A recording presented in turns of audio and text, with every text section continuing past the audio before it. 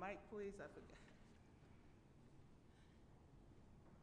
And the announcements are? Ready? Yes. It doesn't seem like I'm ready. I don't know that. Oh, the other one. Okay, sure. Good start I'm off to here. Good morning, everyone. So whether you are here with us in the sanctuary or at home watching on Facebook, welcome to Lynnhaven Colony Congregational Church, United Church of Christ. And remember, we say no matter who you are or where you are on life's journey, you are most certainly welcome here.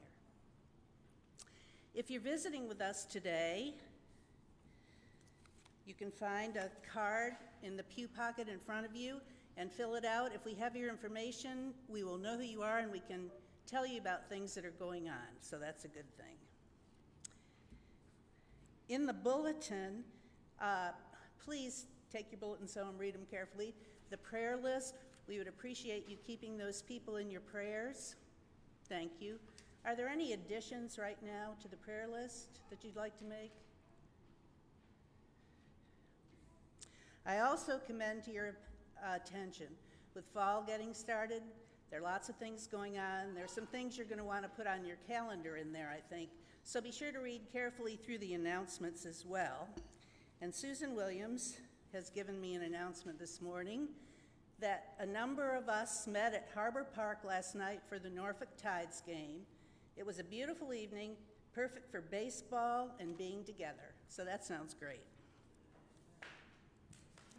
Yay.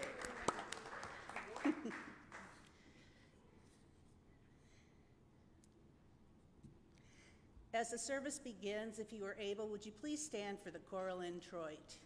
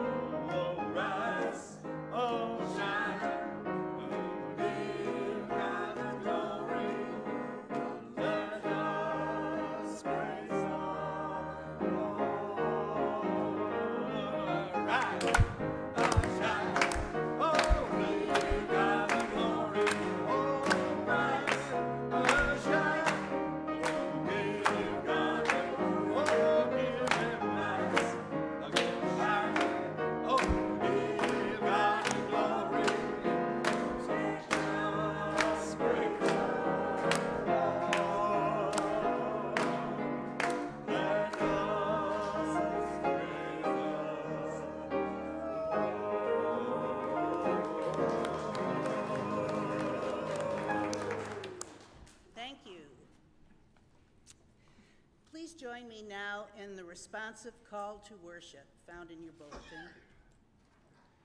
When the pain of a world weary with war and violence threatens my hope and diminishes my belief in the goodness of humanity, help me, God.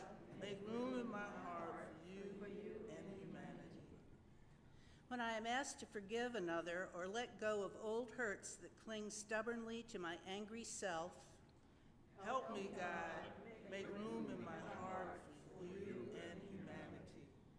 When I give undue attention to myself, or when excessive preoccupation with my own schedule tempts me to ignore you, God, or the needs of others, help me, God. Make room in my heart for you, for you and humanity.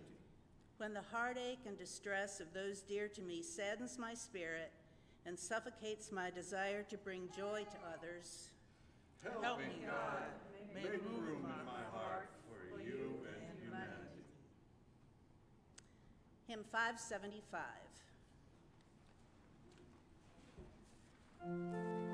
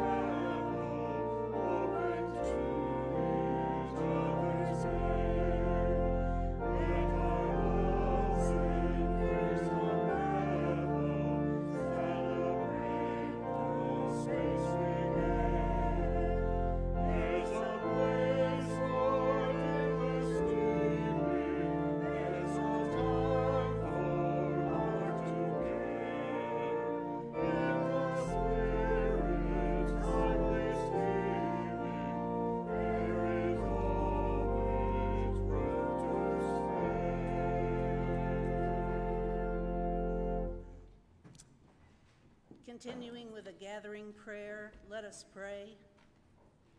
Spirit of the living Lord, remind me that my life with you is most often found in the midst of others in whom you live and move and have your being. Lord, ignite my love. Open the doors of my mind and heart so you can fill the entire house of my being with your all embracing love. Sail with me, Lord, on the clouds of my uncertainty, and stay with me in the toughest of threatening storms. You whisper in the winds of my searching, so silent at times, I wonder where you might be, ever present, ever elusive. I cannot control or define your interacting essence. You continually draw me to your heart with each breath I take. You ask only that I surrender my desire to regulate and manage how you move and reveal yourself to me. Amen. Spirit of the Lord, Spirit of our hearts, we welcome you into our life. Be our beloved companion and steadfast guide. The peace of the Lord be with you. And also with you. Please greet one another. Share God's Christ's peace.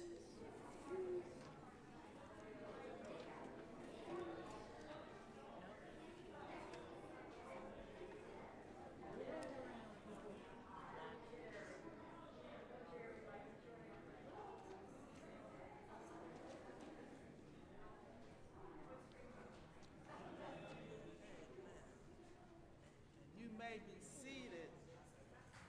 Once you are greeting, hello everyone. Good Good morning. As you see, I got our children's song in the thing, in the bulletin. So let the children come. Come on, children. Let's do the children's talk.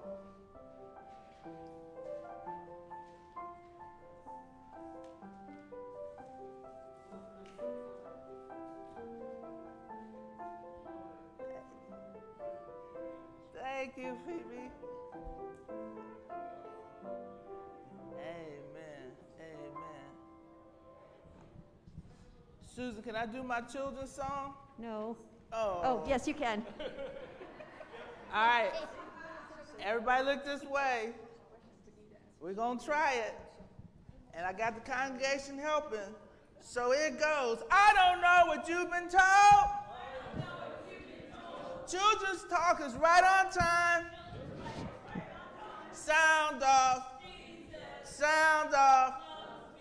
Break it on down. Jesus loves me. Jesus! Hey! Did ya- I, I heard all of them, but I ain't hear y'all. That's okay. Y'all gonna get it. We're gonna practice. What? You are looking the wrong one, way. Good, good, good. It's I'm a so real what? A. Bi- so a real Bible? kids. Yes. Would you like to see it? No. Would you like to see it? Okay. And then Susan, you'll have their undivided attention. Yeah. See, it's yeah, it's a, it's a real Bible. Amen. Curiosity. That was cool, Luca. I like that. Okay. Oh, okay. Where's your mama at? So I want everybody to be introduced.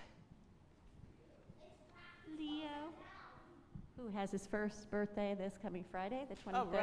Happy birthday. What's your name, sweetie? Uh, Aurora. Aurora, Luca. Luca, Morgan.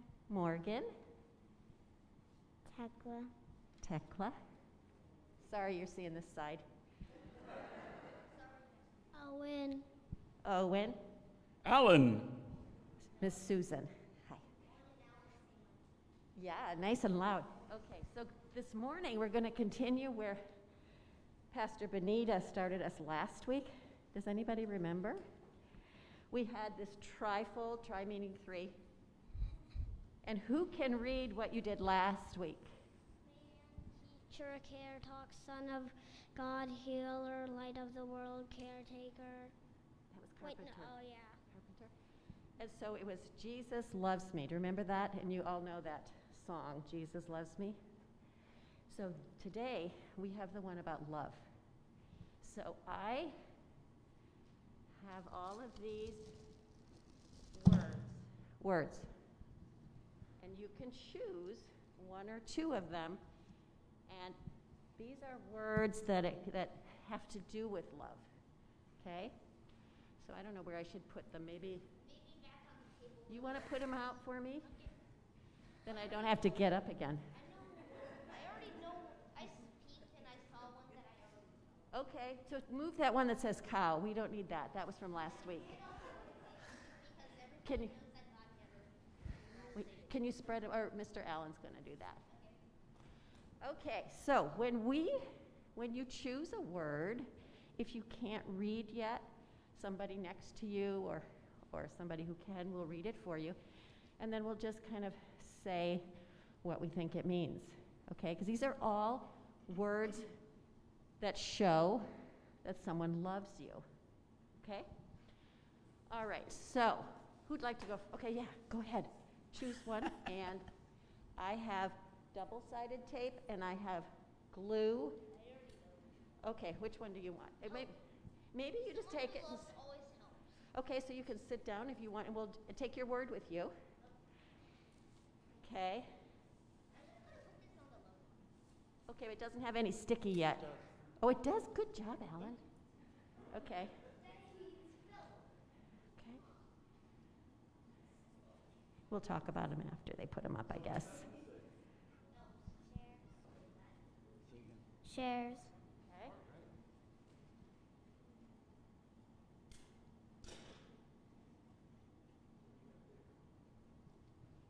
Cares.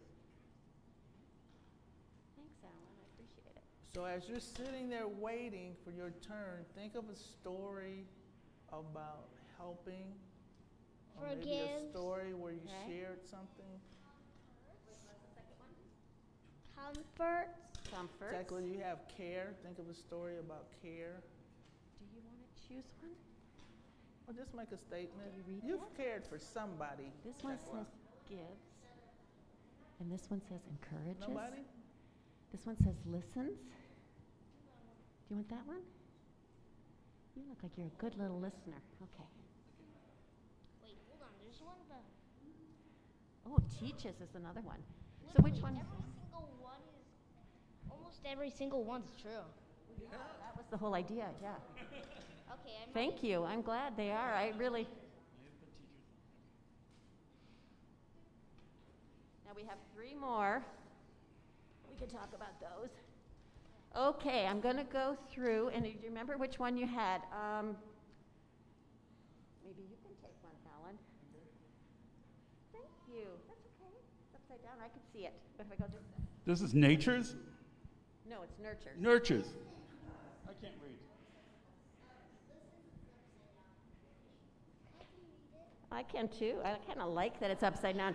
I kind of like stuff that's a little upside down. Do you ever? Okay. Um. Yeah, I know. Okay. Who had teaches? Okay, Luca. When someone loves you, explain how that's a loving thing to do to teach. I can tell how God teached. Okay. God teached how to be kind, helpful, and also very forgiving. Wow, all those words that all those words that are up there too. He took the time to teach, didn't he? Mm-hmm. He was also a carpenter. He was. He was not. He was. Not just a teacher, also a carpenter, He was a lot of things, wasn't he? Okay. basically. Okay, how about somebody who helps? Who had helps? You, I can. Good. I don't want to go in front of Leo because he's so good looking. Okay. He helps the poor and who's sick. He does. He does. And how else? Like, for example, when people love you, how do they help you? They, they when I'm sad, they give hugs. Oh, yeah, that's a good one. Okay. Cares. Who had cares? Tekla. Um, God cares for us. And what are some examples of ways that God cares for us? Uh, he cares for us when we're sick or hurt. When we're sick or when we're sick or hurt. Exactly. Shares. Who had shares? Oh, I'm really don't have to move. How does God show his love by sharing? What does he share with us or what do people who love you how do they show their love by sharing? I can Do you want a little time to think about it? Okay. How about uh, comforts? Oh, good. Owen. Um, In what way does God comfort you or Jesus comfort you? uh, Or your parents that love you? That's a good one. I like that. How about when you're when you're sad? When something happens that makes you that makes you feel sad. uh, Just like in school. Okay. Uh, c- I'll come back to you, or I'll ask Mr. Allen to do it. How about forgives? Who had forgives? Do you- Oh, you had forgives? Did you have, you had, you had listen, which is also good. What is forgiving? uh, Nope. What was your other thought?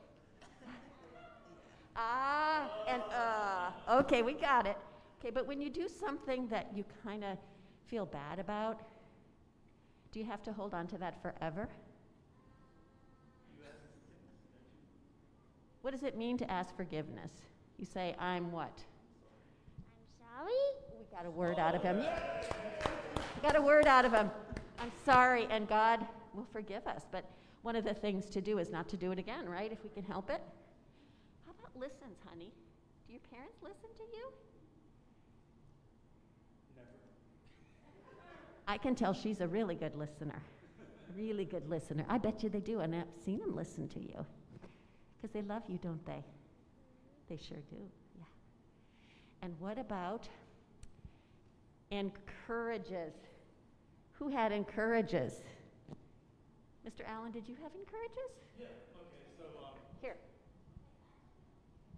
So God encourages us to do good things so that we can spread love and happiness all around. Amen. And gives. Who had gives? Mr. Allen. Again, gives. Oh, so God gives us things. He gives us the ability to um, get up and get moving, to study, to learn, and to try and go out and help mom and dad who help us. Thank you. Isn't that good? And then one of the last ones is Mr. Allen said natures, but the word was nurtures. But I kind of like the um, the connection between naturing and nurturing. And I have here when someone nurtures you. Does anybody know what that means? When someone nurtures you, you look like a very smart child. what does it mean when someone says nurt- nurtures? Um, nurturing is like the love that our parents give us. Exactly. So I have here something from nature from my garden. Yes. Is that bone meal you have in? No, it's a napkin with some water and it's a vinca plant, but it's not it's not totally healthy. What's wrong with it? It looks like it doesn't get that much water and doesn't have very much soil to live in. Okay.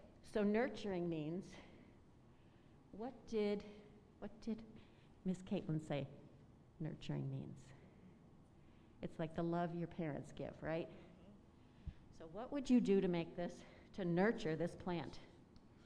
Water it every day and and probably maybe put bone meal and like give it some time to sun and maybe some dry. I wouldn't water it every day because it can overwater and make it Okay. die.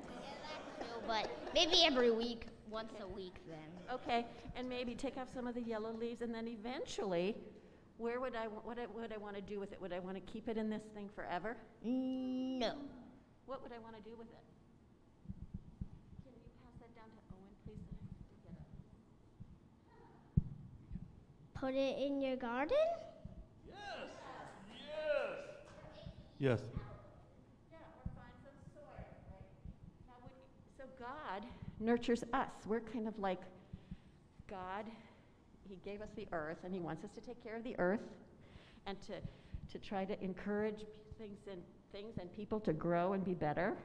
Put, and put nice elevator music because apparently I've done an experiment with like rock, like very loud rock music and and like just nice elevator music and elevator elevator music one. I love that it's do more that. relaxed.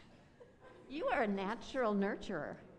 You are natural at nurturing. So God nurtures us, and you know one of the ways that that we're nurtured in our faith to learn more about God and to help others and to spread the love that God has for us is to come to church, right? And to re- and to be with people that feel the same way we do about God and we want to worship Him. And so all the ways that God and Jesus loves us, um, we want to love each other, don't we? Because that's what, that's what God wants us to do. He wants us to share it, right? Okay, who would like to take this home and nurture it? Yeah. I hope we don't. I can find more for next week. Will you be here next week? I got plenty of these in my garden. Okay, thank you, everybody. Oh, does somebody uh, want to do a prayer? Amen. Uh, would, would anybody like to, would you like to do a prayer, Aurora? I would love that. Okay, oh, sorry, I stepped on your foot. Okay. Dear God, Dear God, thank you for loving us. thank you for loving us. Please help us to love others as you taught us to love. Please help us Please help us to love others to love others as you taught us to love. as you taught us to love. Amen. Amen. Thank you so much. Thank you.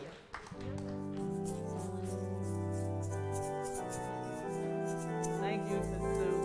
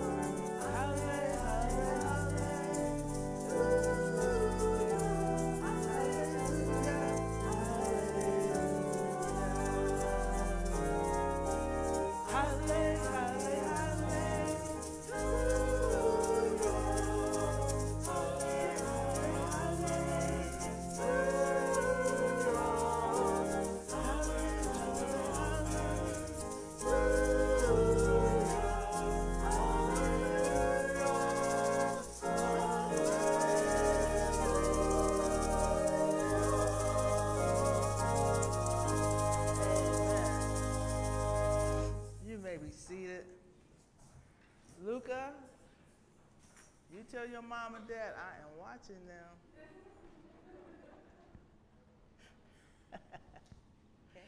Yes, ma'am. We will now have our scripture reading Psalms 55, 1 through 3.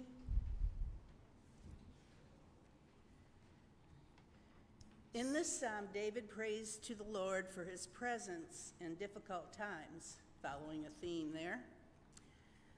Listen to my prayer, O God. Do not ignore my plea. Hear me and answer me. My thoughts trouble me, and I am distraught. Because of what my enemy is saying, because of the threats of the wicked, for they bring down suffering on me and assail me in their anger. In other words, he's, he's saying, Give me your ear, God. Don't hide, because I'm pleading for your mercy. Pay attention to me. Answer me. My cries and my anxieties are overwhelming. The voices of my enemies are paralyzing me. My false friends deceive me. I am giving in to the chaos of the world. Listen to me, God. Listen to me, God.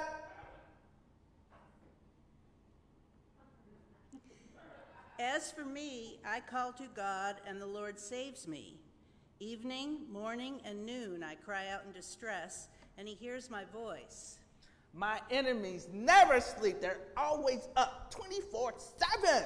They're always bothering me. But God, God has become my Savior. God, God hears me.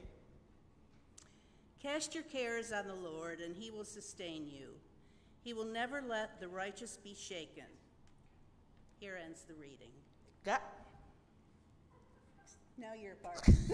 God will remove the burdens and he will provide for you. He will never let the righteous wobble or fall. And sometimes that is how we pray. We give him our burdens, we expect him to serve us, give us mercy, and then sometimes he does and sometimes he doesn't. So, what is prayerful living? There are a lot of verses we can point to that if believers have faith and make their request to the Lord, He will answer us. We have 1 John 5 15, Mark 11, and several others, John 16. Some other scriptures say, We have not because we ask not. That comes from James 4, verse 2. But obviously, it's not always that simple because we don't have because we don't have because we still have sick people in hospitals. We still have hunger in the world. We still have homelessness and a host of other struggles and anxieties. Our hopes and expectations are many and also disturbing because all too often our experiences do not match these promises that she just stated in Psalms 55, verse 16. As for me, I called to God, and the Lord saves me. We ask, even Christians, we have not been saved. We have not received. I still got problems. At some point in our lives, believers or not, we are challenged by unanswered prayers.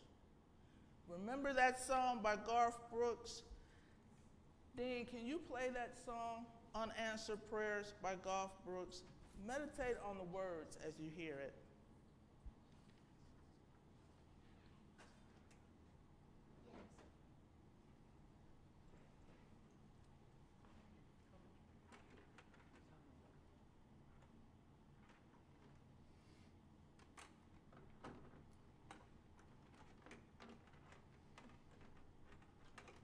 I would have sung it, but I know y'all didn't want to hear me sing.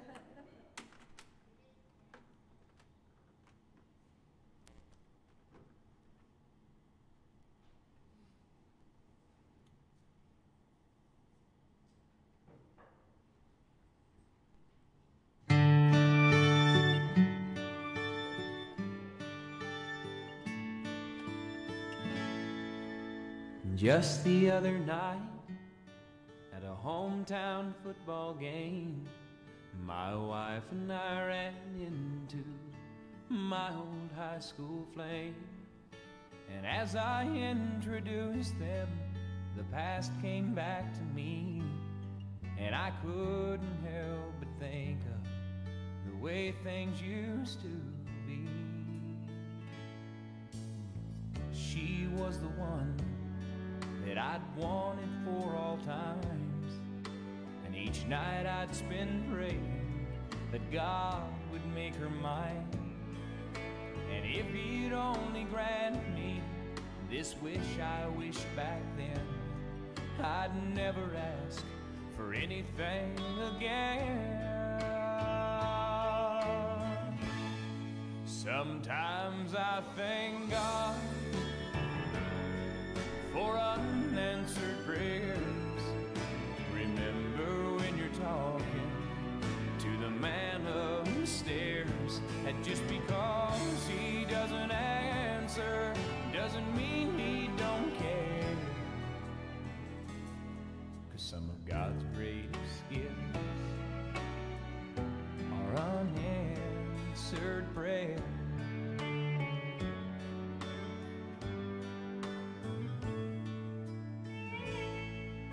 She wasn't quite the I remembered in my dreams.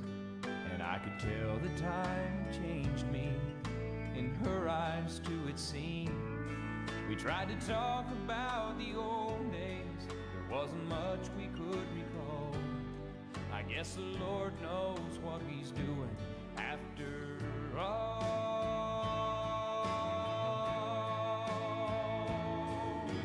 And as she walked I looked at my wife. And then and there I thanked the good Lord for the gifts in my life. Sometimes I thank God for unanswered prayers. Remember when you're talking to the man upstairs, and just because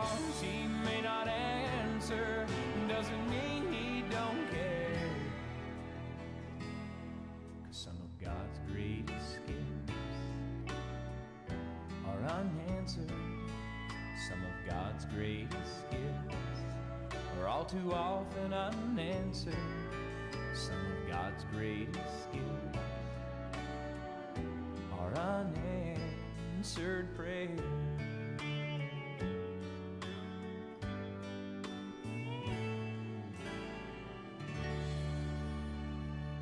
I love that song. I know as we as we listen to that song, especially older adults can remember some things that we're surely glad that God didn't answer. The song is kind of humorous, but it's actually across many different faith traditions. Practices of prayer connect people to what they perceive to be the ultimate source of spiritual inspirations and expectations. When people pray, they act and express thoughts of emotions that convey deep religious meanings on the one hand and their emotions on the other. Sometimes we approach prayer as if we could fit all the unknowns into a single Bible verse or simple explanation, such as the Lord always answers prayers with either a yes, a maybe, or a no. When we pray, we will have to engage the idea we don't have the whole picture or ability to understand all the answers. So then, why should you pray? Engage this thought. There will be nothing more defeating as a believer to pour out their heart to the Lord in prayer and only decide that God just ignored him or her or didn't hear you. So, why are prayers important? For many people, simply prayer is communicating with God. Sometimes we cling to the idea in Psalms, Psalms 55, verse 1 through 3, asking for what we want and telling God what to do. Prayer is more than simply defining it as communicating with God. That's too narrow of a definition. Prayer is important. First, it gives opportunity to build relationships with God and others. Second, it ensures us a closer relationship with God. And three, our prayers reflect God's spirit flowing in the world. God allows us through prayer to participate in His will, both the human will and the non human world. Non human world meaning care and the oversight, for example, of animals, plants, rivers, building a relationship with God. Prayers act as build, a building block towards a relationship with God. Talking with God is part of what prayer is, as is listening to God. Prayer is an action word showing a dynamic movement in relationship to God and people. Prayer is a call and response. Sometimes God calls and we respond, and at other times we call and God responds in such a way that neither God nor ourselves are isolated in prayer. It is a process. We pray together. In a relationship world such as ours, God not only gives to each of us and receives from each of us, but also gives and receives from every element of our surrounding environment. Both talking and listening are part of the conversation. Someone asked me the other day, Well, how do you listen to God? How do you know you're listening? I said, Sometimes God gives me ideas that I don't, I don't know where they came from. They just came. And I give God all the thanks and glory. And I will tell you this as a personal witness. One time I thought I heard a voice saying, You can stop praying for her now. And I had to jump up and look around. And people, I swear, I, I'm a rational person. It surprised me too, but I still today believe it was God speaking to me. So, how often do you pray throughout the day? Or what stands in your way from praying? Remember, as you count, communication does not always have to be verbal. There is also silent prayer and meditative prayer. Think of prayer more broadly as consciously spending time with God. Obviously, we're always in God's presence every moment of our lives, but much of the time we are focused on other things. We are not deliberately relating to God. Prayer is what happens when we come alive to God's presence. Through prayer, we not only through prayer we are not only in God's presence, but we know we are. So prayer is consciously spending time with God, consciously relating to God. It may involve talking and listening as we do in conversation, or it may just be involved being aware that God is with us. Like talking, taking a walk with God. Neither of us saying a word, just enjoying each other's company. Some prayers will be long, heart to heart conversations. That is, after all, how you got to be such good friends with God. But other conversations between the two of you will be on the run, perhaps just a few sentences to check in, almost using the kind of shorthand or, or perhaps a, using incomplete sentences between the friend. God knows you well enough to know how you will complete these sentences so you don't have to. Second, the importance of prayer ensures us God is close. Prayer is not like praying to a God that is outside or far away. In the ever so present God, inspiration comes from within, guiding us intimately and personally. While we take responsibility of our own spiritual lives and consider our prayers our personal relationships with God, there is also a process of interdependence on people, families, congregations, communities, the environment, all God's creation and movement within each of these fact are within each of these factors. Bottom line, we are not alone in prayer. Our prayer efforts, to whatever degree, is unique contributions to the ongoing universe, God's universe, God's will. Yes, your prayers is part of God's vision. Consider prayer as being fresh energy into the world, interjecting new possibilities that are both relational and personal. Prayers are not only important to bring us closer to God, but also important to bring us closer to each other. Third, prayers are important because it allows us to participate, as said earlier, in God's Spirit flowing in the world. Our personal prayers and community prayers reflect God's Spirit moving fluidly throughout the world. One of the greatest challenges of prayer and our limited knowledge as it appears that many of, us, many of our prayers are apparently not answered in any way that we can discern. We are called to pray for our own well being and the well being of others in light of the future. Prayer recognizes that we can always pray for a healing, a sense of peace, and wholeness, even when we cannot immediately see the change, such as peace or the healing of a loved one. we must remember the places where God faithfully answered prayers. God is the one who balances the cries of creation, whether it manifests in the prayers of a dying, of the dying, striving, starving children, or someone looking to make a career change. God invites us to pray for both the large and small things, and then let our prayers flow into the larger ecosystem of prayers contributing to God's only, own activity in the world and situations that we may never be directly involved or encounter. While our prayers do not guarantee that we will always receive the answers we seek, we can affirm that our heartfelt prayers will make a difference and will find a response in God's ever present moment towards healing and wholeness of the world.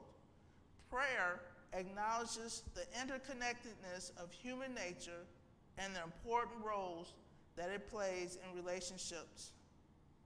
Prayer is important because we are meant to connect with each other on an interpersonal and emotional level, and strong and fulfilling relationships help people maintain emotional well being.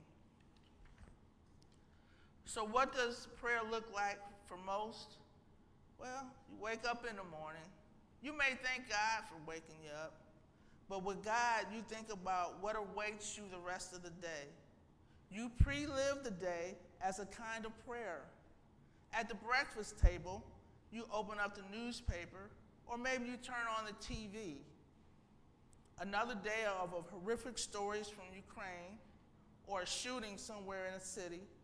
You, sim- you simply think, God, be in, the, in that place. Be with those people. That's a prayer. Later, you get in your car and the traffic is horrible. So you say to God, The traffic, and you don't have to say nothing else. God knows the rest of that story, how that sentence ends. By the time you get to work, it's not hard to take your frustrations out on the first person you meet. When you arrive, there's a message from a family member.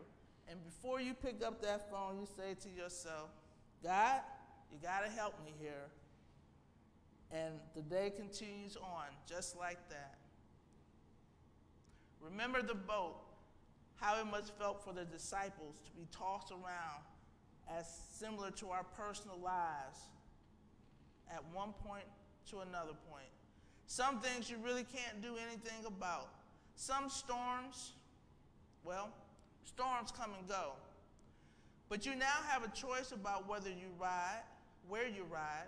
Is it, be, is it better to cling to on the mast and being whipped around by the storm of life, or stay as low as you can down in the hold where mindfulness keeps me safe, keeps you safe as the emotions, thoughts, and feelings swerve around, watching them come and go in a non judgmental way, in a compassionate way. It is like having Jesus asleep in the boat with you. The storm is still there, but we find, but we are just fine. And we keep on praying, not only for ourselves, but for others and that is the importance of prayer. Amen. So let's go to God in prayer right now. Heavenly Father, we just thank you for this day. We give you all the glory and all the honor. You are our only God, and we love you. We especially thank you, God, for forgiving us for our inequities. We thank you, God, for making us curious, making our children curious about what is going on in the world and how we relate to the world. Heavenly Father, we just pray that you continue to hold us, embrace us, embrace our thoughts and understandings, embrace our challenges. We pray, God, that in the midst of the storms, that we stay calm, stay in prayer, and know that storms come and go. We pray for all of those who couldn't be with us here today. We pray for those at home right now, God, sick and shut in. We pray for those who are sick in the hospital. We pray for those, God, who have been ill and who are hoping to heal. We pray, God, that you are with them at this moment and that their hearts and minds are open to your will, open to your healing. We pray, God, for the doctors and the nurses. We pray that all the resources available is available to them, God, and we pray for their mental their mental stability as they have de- dealt with the coronavirus and other things, God, that keeps them from their families. We pray for our families that have been isolated, our children who have been isolated as now they go off to school, God. So we pray that the schools are having an environment, a learning environment, where our children can just thrive, God, and learn, and be curious and learn, be safe and learn, be loving and learn, be kind and learn, be respectful and learn. We thank you, God, today for this church. We thank you, God, for this church congregation. We thank you for the love and hosp- hospitality that they always show when visitors and friends and neighbors come by. We continue, God, to pray for various perspectives as we continue to grow spiritually, grow not knowing you, God, growing closer to you. We pray, God, as a congregation, that we do it together, stay on the same journey, God, and look out for each other, especially in the community of the church. We pray for all of those outside the church, God. We pray for the homeless, the hungry. We pray for the unbelievers, God. We pray for the other churches, God. Even though we may not have the same beliefs, but we have the God, the one God, the only God. And we pray, God, that we can look beyond our beliefs, God, and work together to help those who are hungry, to help those who are hopeless, to help those, God, who are seeking refuge, to help, God, where your will is going. In Jesus' name we pray. Amen. Amen.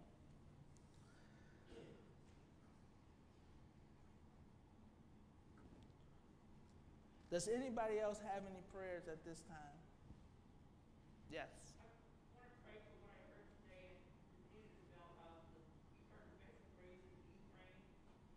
Okay. We pray. Amen.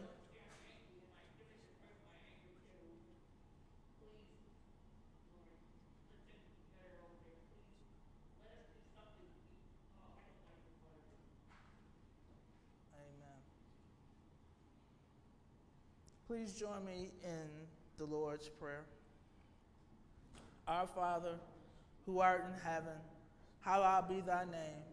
Thy kingdom come, thy will be done on earth as it is in heaven. Give us this day our daily bread, and forgive us our debts as we forgive our debtors. Lead us not in temptation, but deliver us from evil. For thine is the kingdom and the power and the glory forever and ever. Amen. At this time, please, we welcome the deacons to share your gifts with the church. Deacons, will you come forward?